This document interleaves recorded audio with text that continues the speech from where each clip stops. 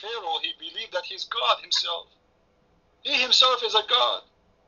So it is not God who closed his eyes from seeing the truth. And here we are speaking about your God is acting as Satan.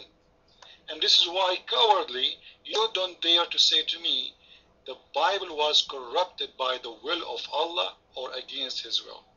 You know what? I will make the question easier. Do you hear me guys? Is my voice clear? Okay. Do your God Allah knew that the Bible he sent is going to be corrupted? I think this question now is easy. You have no excuse to say, I'm not going to answer. Do he knew that the Bible he sent it's going to be corrupted? Either you say yes, he knew, or you say he don't. You're fine.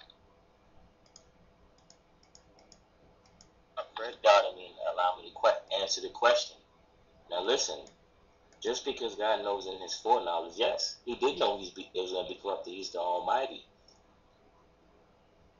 at the end we were able to get an answer. Hallelujah. So Allah He knew that the Bible will be corrupted, right? Now this is what this is the question. Why Allah did not protect His book? Your mind. He knew, but He did not protect, which means He sent it to be corrupted, which means this is by was His by, by His will. Correct, guys? If Allah He knew that this book would be corrupted, and He sent it to be corrupted, it's mean it was his will. Because simply if he want, he can stop the corruption. He knew what will happen. He knew those people, they will not keep the book. He knew they are not good. He, knew they are not the one to trust. Even though he decided to send the book to be corrupted, it's mean Allah is part of the corruption because he sent it to be corrupted. He knew it's going to happen and he did nothing about it simply because he don't care.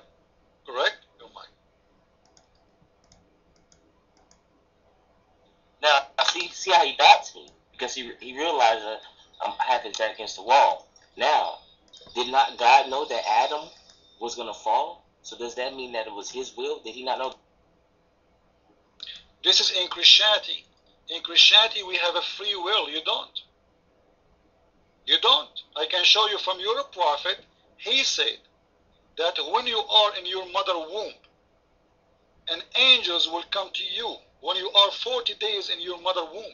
They will whisper to you your destiny, your happiness, your sadness, your death, your life, your marriage, your wealth, and even your religion.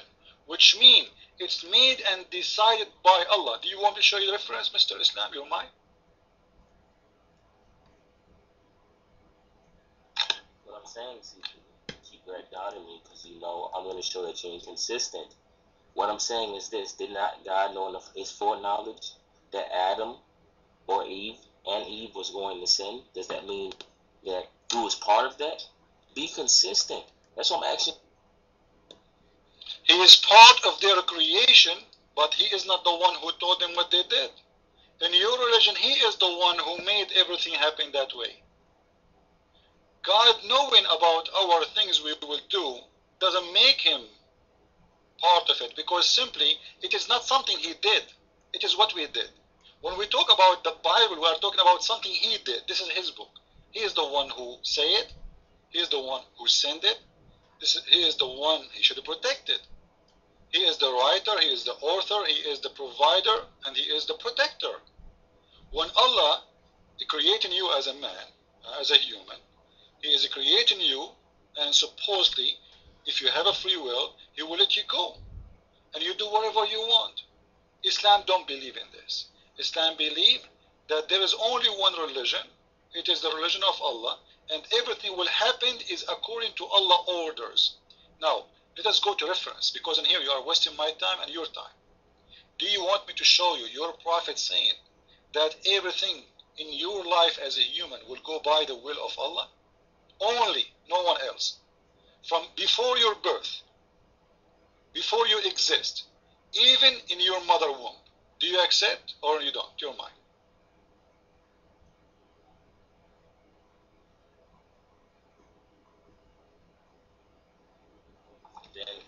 Once again, I'm actually be consistent. In the book of Jeremiah, did not God tell Jeremiah that he knew him before he was born? What are you saying? You're not proving any point. You see, Islam, you are so coward to answer. We told you for sure God, He knew that He was before, before, before I was born, and before ten thousand from year, uh, God, He knew what will happen. You know, please let us speak smart. Don't be, don't be a dummy.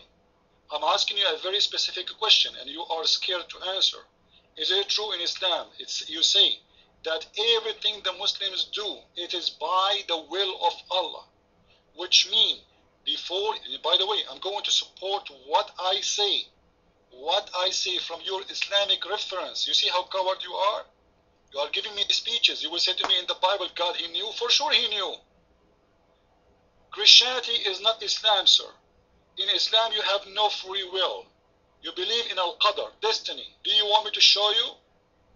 And I am sure you are, I'm not calling you names, by the way, but this is how, how you are. in Islam, one of the most important things or columns in Islam, to believe in Al-Qadr. Al-Qadr, khayrahu wa sharrahu.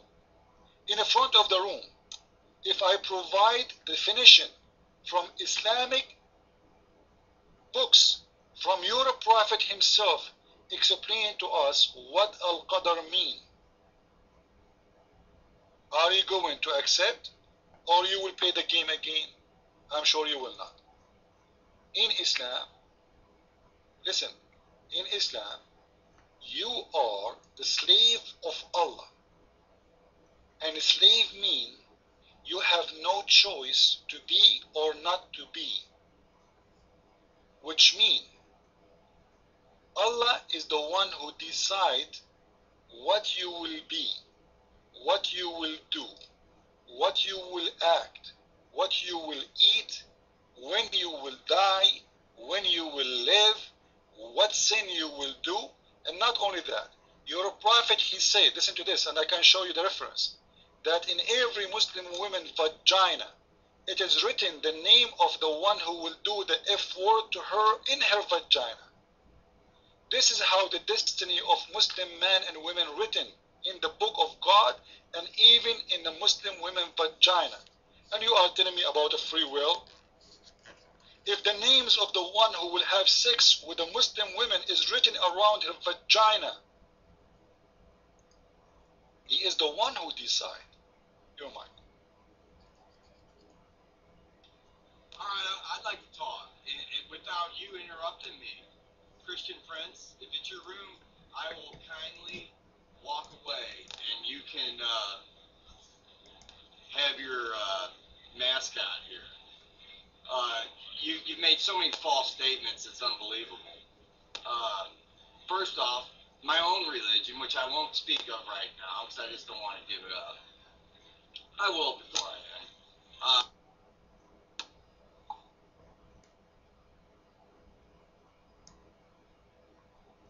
Anybody hear me? One on the mic, Christian Prince.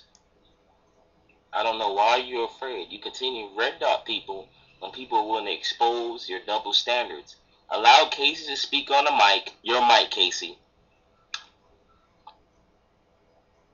You see, Islam, you are a coward. You want to run, right? You think he will save your ass? He just said he wanna. he don't want to reveal his religion. A religion, it is a secret. There is nothing to debate about. He don't want to say what his religion is. Maybe his religion is an underwear.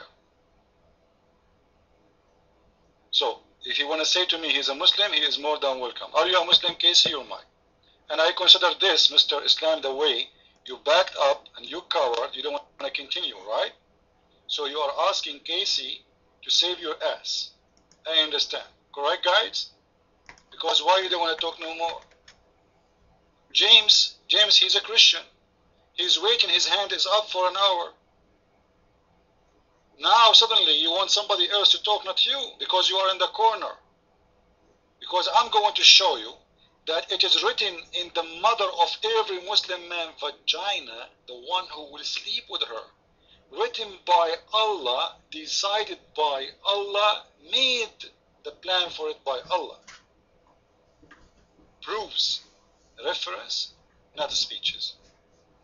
Now listen, Casey, he's out. So you have no choice. You're mine. I want you to explain to us, please, And right now, I'm going to post reference. And guess what?